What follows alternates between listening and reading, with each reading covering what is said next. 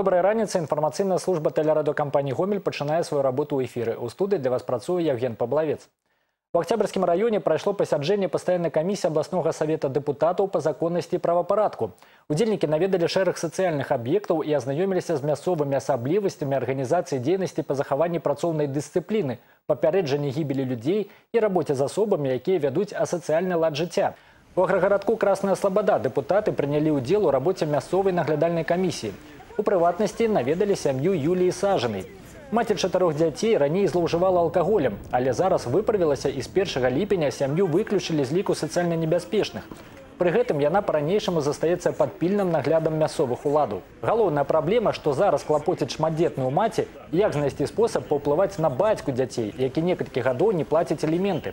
Члены депутатской комиссии пообещали вырашить в законном порядку и это питание. Учитывая, что есть приказ о взыскании, судебный приказ о взыскании алиментов, э, поэтому соответствующая работа будет проведена, либо будет э, объявлен в розыск этот гражданин, либо Э, другими законными способами будет обязан уплатить эти алименты. У цілому дільники посядження високо оцінили опыт ведения профилактичной работы в Октябрьському районі і планують використовувати м'ясові напрацовки у своей деятельности. Подробности у наших наступных выпусках.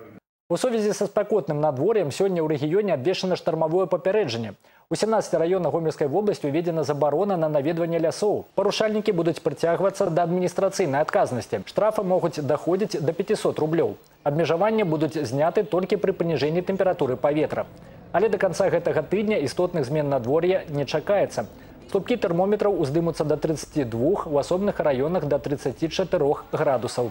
Медики закликают людей быть осторожными, уживать как мага больше воды, по магчымасці меньше знаходзіцца на улице Працу на адкрытым паветры планаваць у ранішні альбо вячэрні час. Да іншых тэм. На палескай вуліцы адной з самых ажыўленых магістраляў абласнога цэнтра працягваецца рэканструкцыя.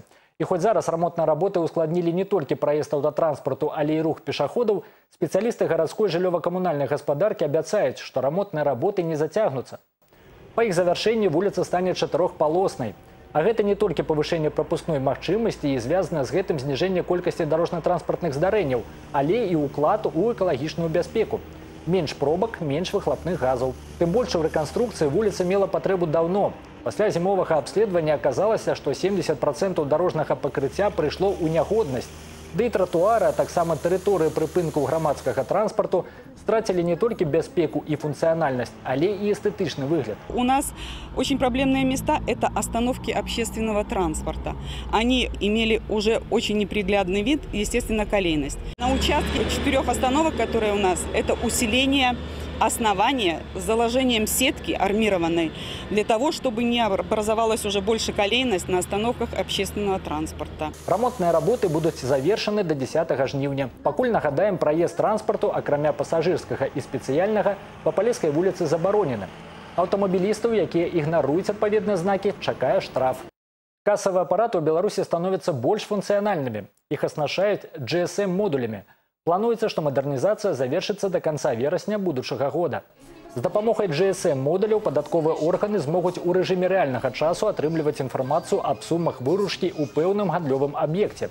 Але такія змяненні павінны быць зручнымі і для саміх прадпрымальнікаў. Напрыклад, не трэба будзе весці кнігу касіра. На яе запаўненне траціцца шмат часу, а дзякуючы абноўленым апаратам інфармацыя будзе сістэматызавацца аўтаматычна, і штодзённыя падлікі вырыжкі не спатрэбяцца. Акрамя таго, калі, напрыклад, гаспадар гандлёвага аб'екта выязджае за мяжу, ён зможа сачыць за фінансавымі справамі з любой кропкі свету. Первыми уже у нас оснащены автозаправочные станции. Э, на подходе у нас э, автомобили такси, юридические лица и индивидуальные предприниматели. Ну и к концу года оборудуются данным средством значит, торговые центры, у которых площадь занимает свыше 650 квадратных метров.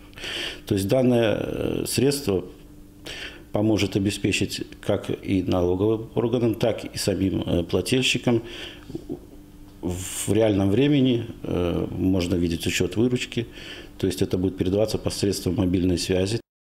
Сегодня в вышэйшых навучальных установах Беларуси завершается прием документов для поступления на дзённую форму навучання за кошт рэспубліканскага бюджэту, а таксама на завочнае аддзяленне.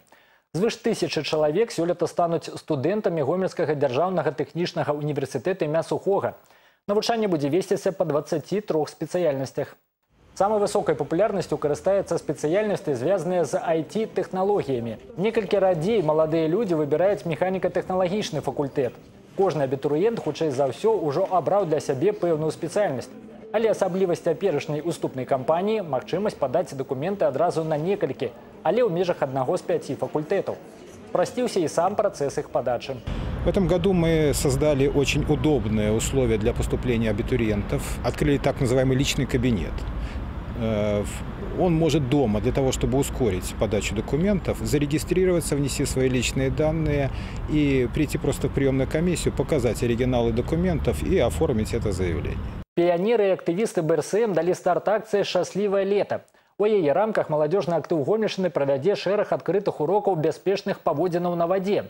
На першым з іх пабывала Ганна Кавалёва. Актывісты БРСМ и пионеры Гомельшины в рамках акции «Счастливое лето» стали помощниками выратавальнікаў. Подлетки плануюць правесці шэраг профилактичных мерапрыемстваў. Першае з іх адбылося на галоўным пляже областного центра. На пачатку група актывістаў прайшла падрыхтоўку ў супрацоўнікаў гарадской выратавальнай станцыі і МНС, каб потым данесці карысную інфармацыю наведвальнікам пляжу. Дарэчы, такія акцыі асабліва актуальныя менавіта зараз. У спякоту колькасць адпачываючых каля вадаёмаў павялічваецца ў некалькі разоў. В период повышения температуры температуры для работников ОСВОД, наших спасательных станций, постов по всей области, они наиболее напряженные, потому что в этот период э, все граждане устремляются к водоемам, вот, купаются как в местах для этого предназначенных, так в местах и не предназначенных. Вот, и поэтому все это создает обстановку, которая ну, порой приводит к несчастным случаям. Каб прадухіліць такія выпадкі падлеткі раздавалі наведвальнікам пляжу буклеты з правіламі бяспекі. Толькі за першую гадзіну акцыі іх атрымалі каля 200 чалавек. Акрамя гэтага ім прапаноўвалі сфотаграфавацца з прафілактычнымі таблічкамі і выкласці свае фото ў інтэрнэт, каб да праблемы прыцягнуць увагу яшчэ большай колькасці людзей. Мы считаем, что непосредственно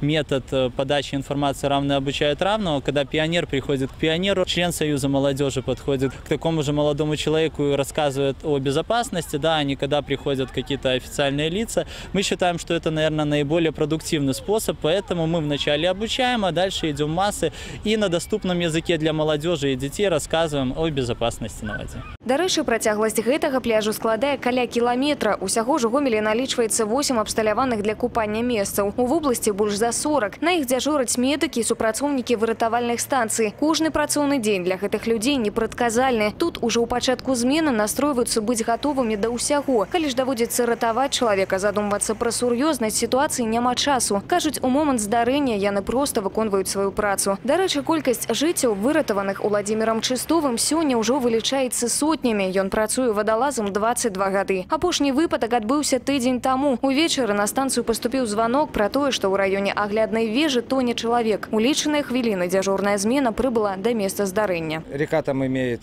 широкие просторы, ну и волнение началось. Мы как бы его не заметили, заметили руки в воде. Но руки уже такие, тонущего человека, человек уже погружается под воду. Успели.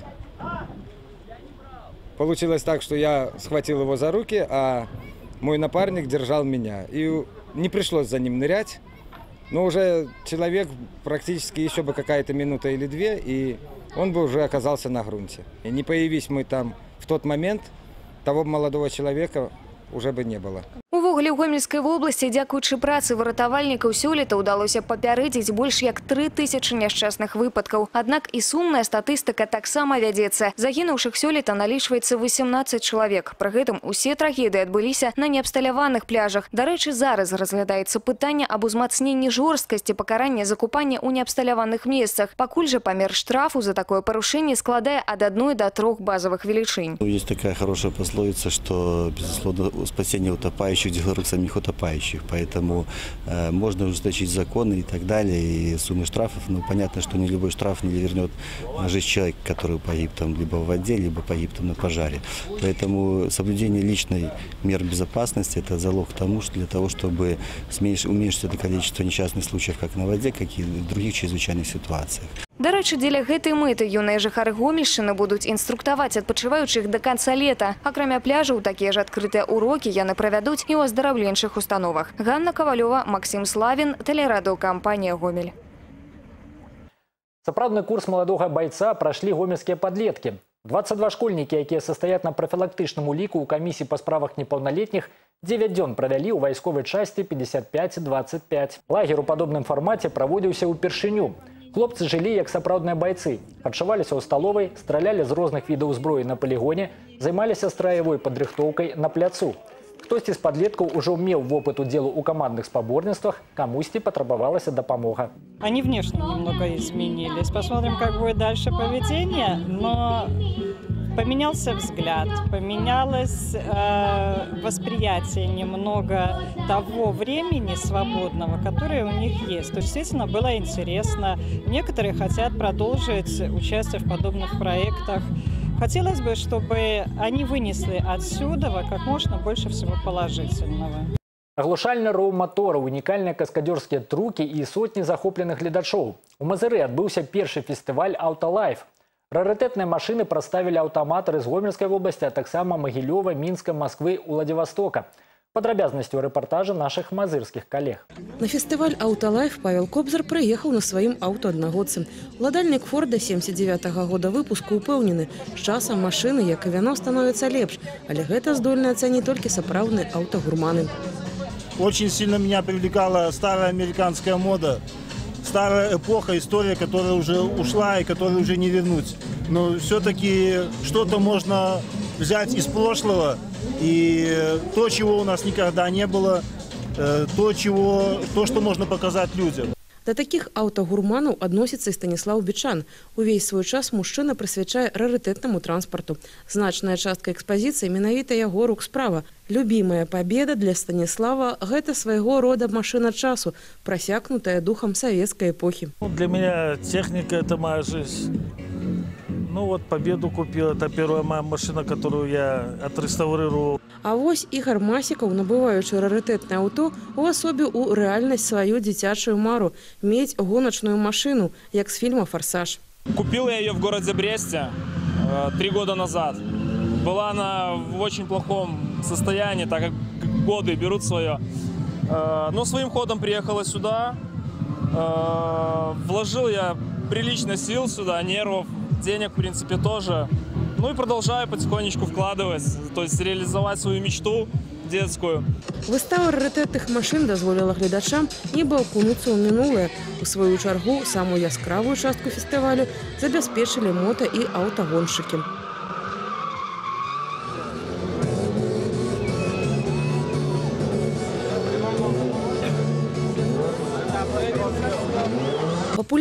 Папулярны рэчыцкі мастак Анатолій Шогалеў на фестывале прэзентаваў свае работы. Замест падставак пад карціны рэальныя аўтамабілі. Атрымалася экспазіцыя на колах в прамым сэнсе. Это очень интересно. Это а, новое видение на проверенную тему. То есть, я думаю, водителям, а, мотоциклистам очень интересно увидеть себя через призму юмора, а, глазами художника. Поэтому всегда с удовольствием приглашают. Это был первый фестиваль «Аўталайф», аднак мерапрыемства такого формату организаторы уже вырашылі зрабіць традыцыйным. Такого не было в нашем регионе нигде. Мы собрали два города, собрали участников с наших городов, с близлежащих городов, со всей Беларуси и из России. Вот. Соответственно, это голосование народного, такого еще не было. Мы собираемся это проводить каждый год. Мы собираемся показывать шоу, радовать людей, радовать наши города, чтобы это все совпадало с хорошей погодой, которая нас радует сегодня. Надеюсь, что в следующем году будет гораздо больше участников. Мы на это рассчитываем. Виктория Синицкая, Светлана Грудько, Юрий Горобец, телеканал «Мазыр». Специально для телерадиокомпании «Гомель».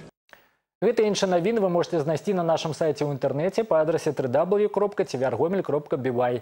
На гэтым выпуск завершаны ў студыі працаваў Яўген Паблавец. Усяго добрага і да сустрэчы ў эфіры.